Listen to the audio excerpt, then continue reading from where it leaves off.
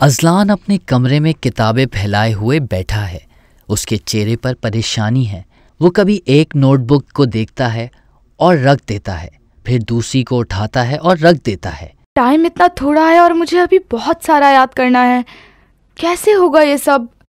मैंने इंटरनेट पर बहुत टाइम ज़ाया कर दिया। अब मैं एग्ज़ाम में कैसे पास होऊँगा? अजलान सर पकड़कर बैठ जाता है। ऐसे में शाहजेब दाखिल होता है। अरे इजी। तुम इस तरह सर पकड़ के क्यों बैठे हुए हो? शैजी मैं बहुत परेशान हूँ। एग्ज़ाम की डेट नज़दीक है और मेरी तैयारी नामुकम्मल है। एग्ज़ाम की तैयारी ना होने की वजह तुम्हारा वही टैबलेट है ना? मैं तुम्हें समझाता था कि टैबलेट का इस कदर इस्तेमाल ना करो।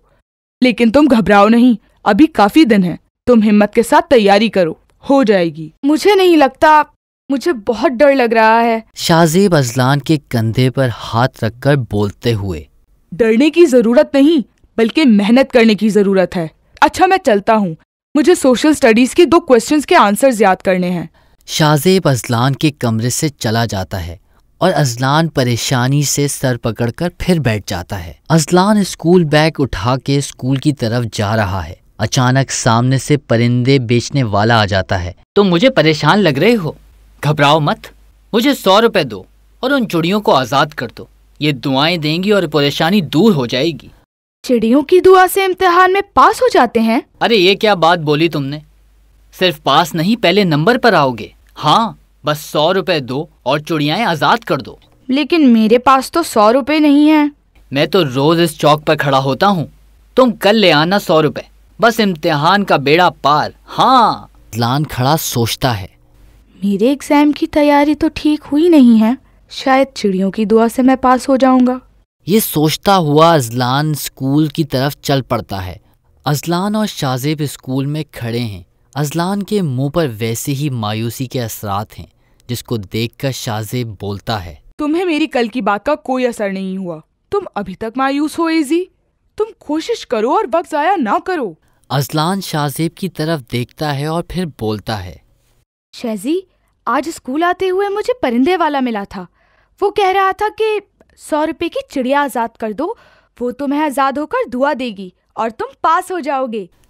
शाहजेब हैरत से अजलान को देखता है फिर बोलता है अरे तुम किस किस्म की बातें सोचने लगे? दुआ ज़रूर करनी चाहिए मगर मेहनत भी ज़रूरी है। तुम मेहनत करो और इस तरह की बातें अपने दिल से निकाल दो।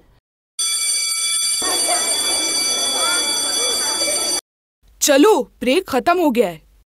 शाहजेब और अजलान क्लासेस की तरफ़ चले जाते हैं। अजलान और शाहजेब स्कूल से वापस आ रहे हैं जहाँ एक अंगूठी फरोख करने वाला बैठा है।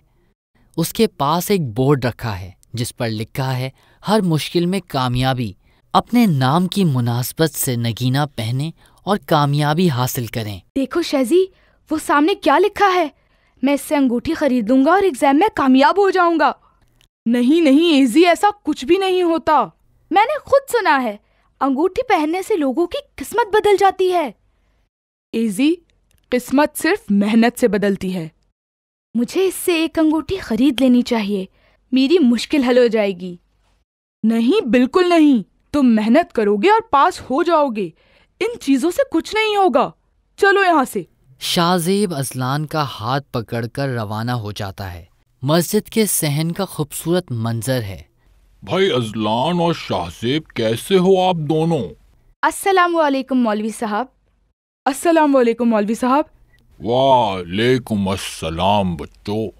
मौलवी साहब अच्छा हुआ आपसे मुलाकात हो गई। मौलवी साहब इजी परेशान है और आपसे मशवरा करना चाहता है। हाँ हाँ बोलो अजलान क्या हुआ है? मौलवी साहब मैं अपने एग्ज़ाम्स की वजह से परेशान हूँ क्योंकि मेरी तैयारी सही नहीं है। अभी तो इम्तिहानात में वक्त है दिल लगा कर तैयारी करो। तैयारी तो मैं कर रहा हूँ लेकिन मेरा ख्याल है कि हो नहीं पाएगी। तो मौलवी साहब अगर मैं परिंदे आज़ाद करूँ तो उनकी दुआ से मैं पास हो जाऊँगा? तुम तैयारी के बजाय ऐसा सोच क्यों रहे हो? मौलवी साहब ये अंगूठी खरीद कर पहनना चाहता है ताकि इम्तिहान में अच्छे नंबरों से पास हो जाए। देखो बच्चों ये ख्याल बिल्कुल गलत है कि परिंदों को आज़ाद करने से किस्मत बदल जाती है। अगर ऐसा है तो वो परिंदे उस चुड़िया बेचने वाले को बददुआ क्यों नहीं देती?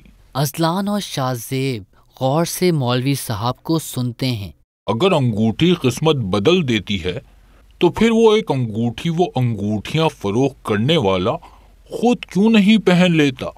धूप में बैठा क्यों अंगूठियाँ फरोख कर रहा है? जी मौलवी साहब आपने बहुत अच्छी बात की। फाल निकाल कर दूसरों की किस्मत बदलने वाला एक लिफाफा अपने लिए निकाल कर अपनी किस्मत क्यों नहीं बदल लेता? जी हाँ मौलवी साहब मैंने तो ये बात सोची ही नहीं। अजलान मियाँ दिल लगाकर मेहनत करो और खुदा से अपनी कामयाबी की दुआ करो। इंशाल्लाह ज़रूर कामयाबी होगी। शुक्रिया मौलवी साहब। मैं दिन रात तैयारी करूँगा और इम्तिहान में कामयाबी हासिल करूँगा। शाबाश। और मैं भी आपकी कामयाबी के लिए दुआ करूँगा। खुदा हाफिज मौलवी साहब। खुदा हाफिज बच्चों। खुदा हाफिज मौलवी साहब।